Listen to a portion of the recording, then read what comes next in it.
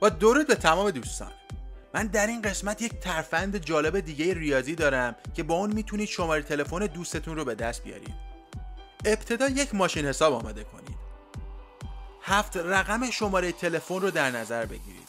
منظور از هفت رقم ارقامیه که بعد از کد منطقه‌ای مثلا 0912 یا 0935 یا غیره میاد. حالا ماشین حساب رو بدین دوستتون و ازش بخواهید سه رقم اول از هفت رقم شماره تلفن خودش رو وارد ماشین حساب کنه. دقت کنید اگر هفت رقم شماره تلفن او یک دو سه چار پنج شیش هفت باشه او باید یک دو سه رو وارد ماشین حساب کنه. حالا ازش بخواهید این سه رقم رو در 80 ضرب کنه و حاصل رو با یک جمع ببنده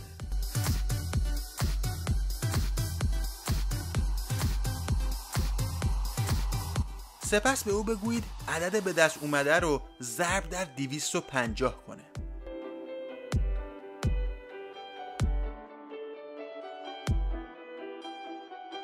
حالا از او بخواهید چهار رقم پایانی تلفن خودش رو با عدد به دست اومده جمع کنه.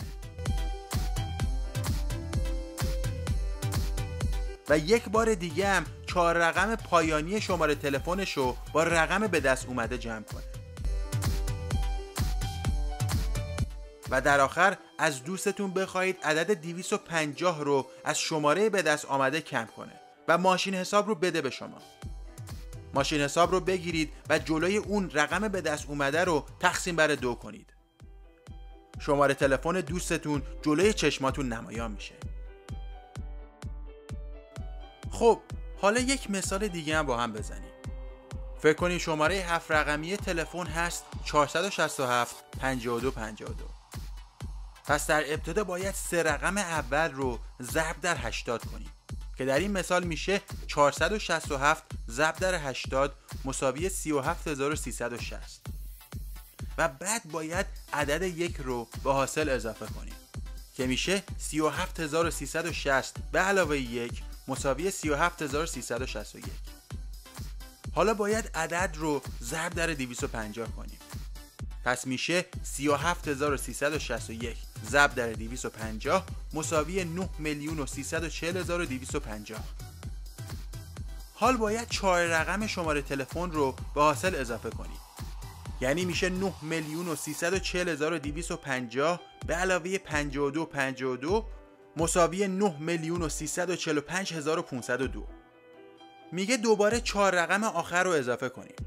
پس میشه 9 میلیون و 345,502 به علاوه 52 52 مساوی 9 میلیون و 350,754 در مرحله بعدی باید عدد 250 رو از حاصل به دست اومده کم کنیم که میشه 9 میلیون و 350,754 منهای 250 مساوی 9 میلیون و 350,504 و در نهایت جواب رو تقسیم بر دو می‌کنیم.